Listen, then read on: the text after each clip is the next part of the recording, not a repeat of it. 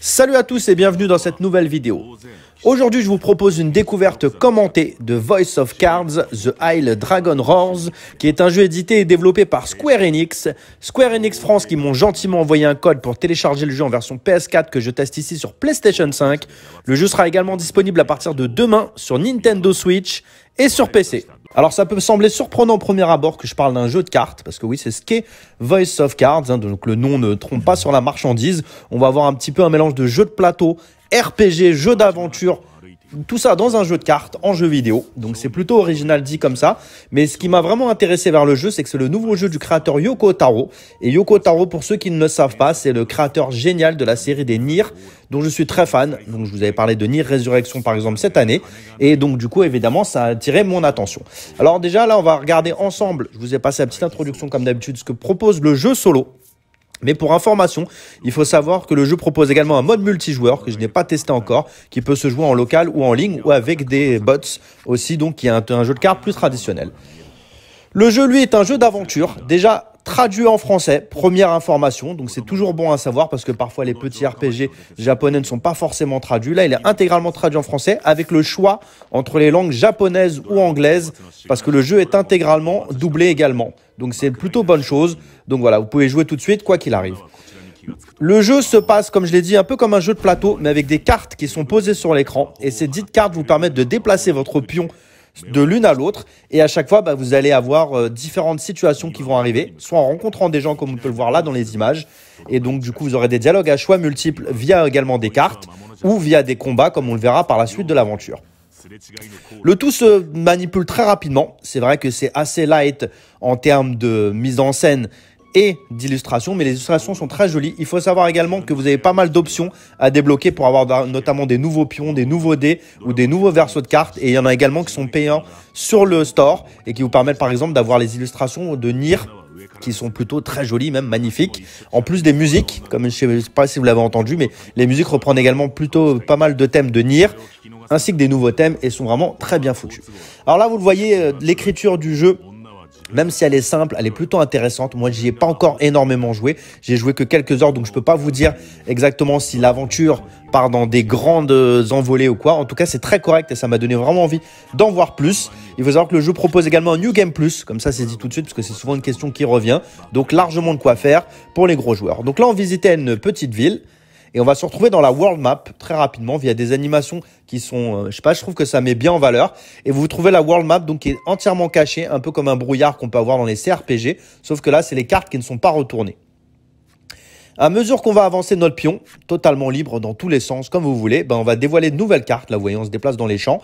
On arrive dans une nouvelle ville. On peut rentrer dans cette ville-là. Et là, on a l'espèce plus jeu d'aventure qui rappelle un petit peu les livres dont vous êtes le héros. Hein. toujours une référence qui revient chez moi, mais je suis très fan.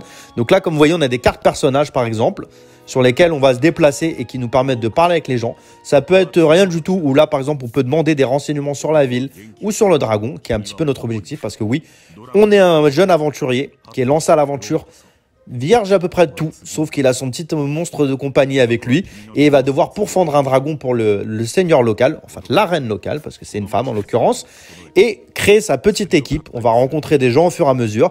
Son équipe est entièrement customisable, c'est-à-dire que vous pouvez accepter certaines personnes, en prendre d'autres. J'ai encore une fois, j'ai pas assez avancé pour vous dire tout ce qu'il y a à voir, mais visiblement, si j'en crois le dossier de presse, il y a pas mal de différences possibles pour de, pas mal de rejouabilité. Vous voyez là, on va par exemple chez un marchand et on peut acheter des cartes pour équiper notre petite team des objets, des armes qui permettront donc d'évoluer comme dans un RPG le plus banal et le plus classique. Alors on aime ou on n'aime pas. Moi je trouve que ça fonctionne parce que j'aime beaucoup les jeux de cartes sur plateau. Je suis un gros joueur de jeux de plateau également et donc notamment des jeux avec des cartes. Donc du coup ça me rappelle vraiment ça où on a des jeux comme euh, Time Stories. Je ne sais pas si vous connaissez mais qui se passent avec des histoires qui sont racontées avec les cartes ou encore Détective. Donc là ça me rappelle un petit peu ça. Donc là vous voyez par exemple on rencontre ici une apothicaire qui se balade. Elle demande si on peut la déplacer.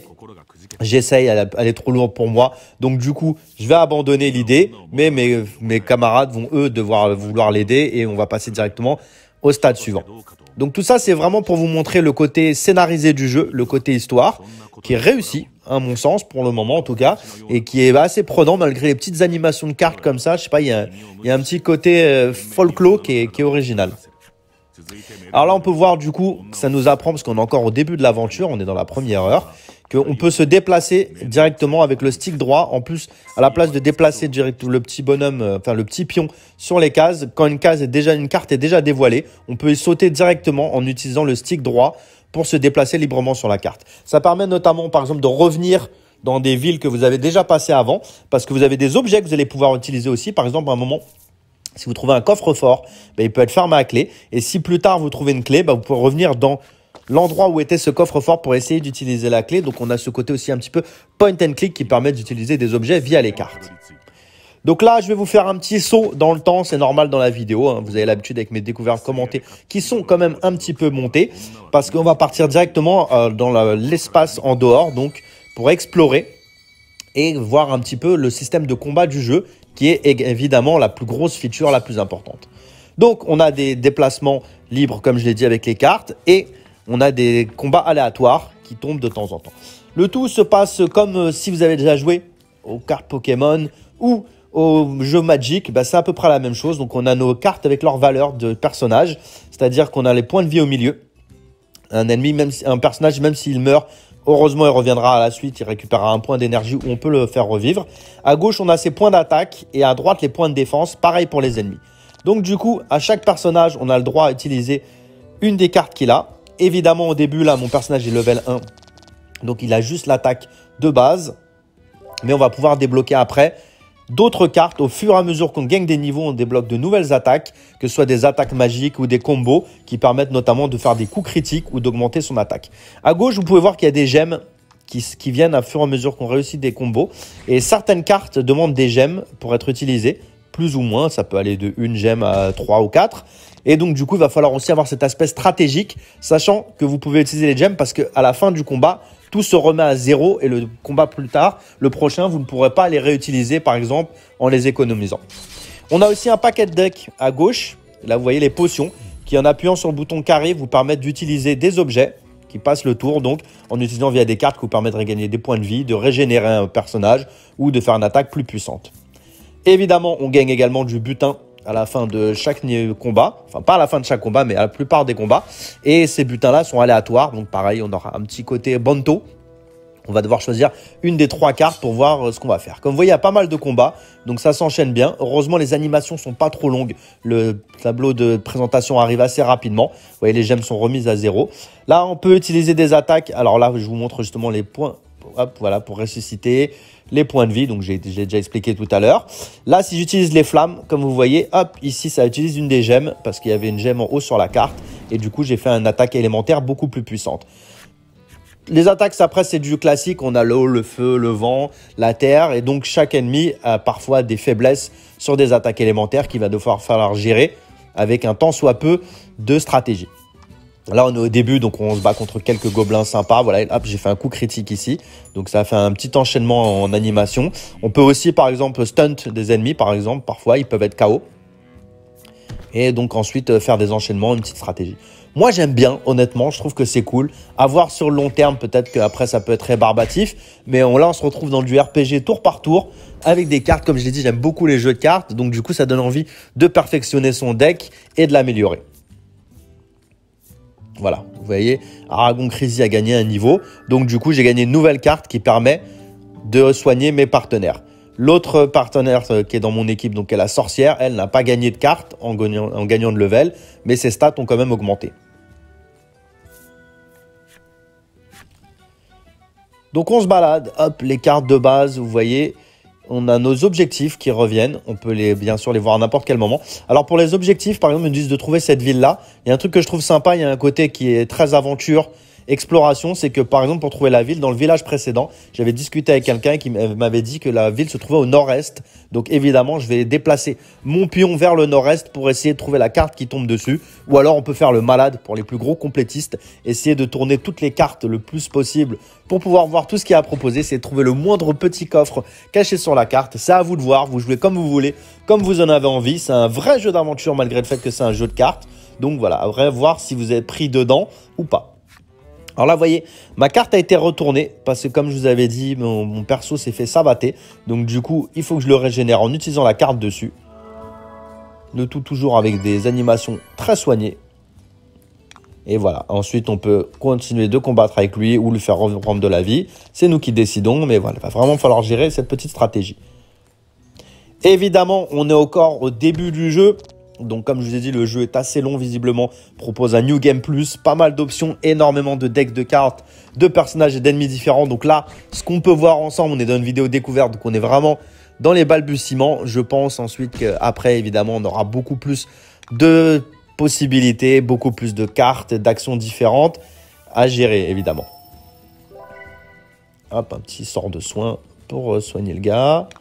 Alors, rien à voir, mais je sais qu'à droite, c'est une bougie qui éclaire l'air de jeu, mais pas pourquoi. Quand j'ai vu euh, tout à l'heure les rushs, j'avais pas fait attention à ce détail-là parce que je regardais les cartes, évidemment, quand je jouais, mais j'ai cru que c'était un pot de mayonnaise. Désolé pour cette petite digression, c'est pas grave, fallait que ça sorte, fallait que je le dise. Donc on va arriver un petit peu à la fin de ce combat-là, et on va arriver ensuite à un combat un petit peu plus important contre un premier, on va dire peut-être sous-boss du jeu, donc avec euh, ce qui vous permettra de voir un petit peu l'écriture du jeu et sa scénarisation. Et ensuite, on finira cette vidéo découverte avec un petit retour au village pour que vous voyez un peu le côté aventure du jeu. C'est un jeu que je conseillerais pas évidemment à tout le monde, mais si vous aimez les jeux originaux, les RPG, euh, voilà, même si vous adorez les jeux de cartes, alors là vous serez aux anges. Si vous aimez l'univers de Yoko Taro, honnêtement, ça peut valoir le coup. C'est pas un must-have, hein, c'est clairement pas le gros jeu de Square Enix du moment évidemment, mais c'est un petit jeu qui peut vous occuper pas mal d'heures et qui saura satisfaire, je pense, les gros fans de JRPG et de jeux d'aventure. Voyez, parfois on arrive, donc euh, on a là des, petits, des petites séquences qui sont scénarisées. Comme je l'ai dit, en plus c'est très bien traduit, la traduction il n'y a aucun problème, donc ça c'est une bonne chose. Et donc là on se retrouvait à balancer un caillou sur une espèce de troll qu'on va devoir combattre, et qui est donc plus puissant que les ennemis qu'on a vus jusqu'ici, donc c'est un petit peu mis en scène. Donc on va lui faire les petits enchaînements, parce que je ne suis pas une tafléole non plus. Hop, je me laisse pas intimider comme ça. Voilà, hop, les petits coups. Lui aussi répond, évidemment, parce que sinon ça sera trop facile. Vous voyez, ici, on a des dégâts qui infligent la valeur égale de deux lances, des, deux dés. Donc, on a parfois des lancers de dés, comme je vous parlais tout à l'heure. Donc, ça rajoute encore un aspect jeu de plateau, je trouve, à l'action. Ce qui est plutôt pas mal. Bien sûr, il y a un côté aléatoire qui ne plaira pas aux gens qui n'aiment pas les lancers de dés dans les jeux. Mais si, comme moi, vous êtes fan de XCOM, bah, vous avez l'habitude, ou même dernièrement avec Disco Elysium, qui, je le rappelle, est un jeu fantastique. Voilà, elle n'a pas fait long feu. Hein, on est au début de l'aventure, donc évidemment, je suis un stratège hors pair aussi. Donc je lui ai mis sa fessée satanée et on peut passer à la suite. Alors les fanatiques de RPG donc qui aiment bien avoir les prises de level et tout en seront pour leur frais parce que comme vous voyez ici on débloque pas mal de choses après des techniques supérieures, des nouvelles cartes, des performances plus puissantes pour ces des compétences pardon plus puissantes pour ces personnages. Donc vraiment ceux qui aiment gérer une équipe et leurs statistiques seront aux anges. Bon on va se rendre ensuite dans le village d'après c'est pas une vanne, hein, c'est le nom du village, il s'appelle le village d'après. Où on doit chercher un, un cryptologue, je crois, un démonologue. Voilà, merci. Excusez-moi, ma mémoire et moi, on est vraiment des deux merdes. Et donc, du coup, on va se balader un petit peu dans cette petite ville et on va finir là cette vidéo découverte qui, j'espère, vous aura plu. En tout cas, c'est un jeu très sympa, Voice of Cards The Isle Dragon Roars, très original, qui pourra satisfaire les fanatiques du genre sur euh, Nintendo Switch et sur PS4 parce que malheureusement le jeu n'est pas disponible sur console Xbox. Vous pouvez jouer sur PS5 et aussi sur PC. Donc voilà, après si vous avez le cloud, tout ça, à vous de vous débrouiller. Voilà, j'espère que cette vidéo vous a plu. Si c'est le cas, n'hésitez pas à laisser un pouce bleu. Pensez à laisser un commentaire, à vous abonner et à activer les notifications. N'hésitez pas surtout à la partager sur vos réseaux sociaux ou sur les forums. Et si vous voulez me soutenir et soutenir la chaîne, la meilleure chose à faire est d'aller jeter un coup d'œil à mon site de comics VF, mosesleycomics.com. Chaque achat sur le site me permet de continuer de travailler en toute quiétude. Allez, moi je vous donne rendez-vous très bientôt pour une nouvelle vidéo. Je vous dis à la prochaine, longue vie à tous. Salut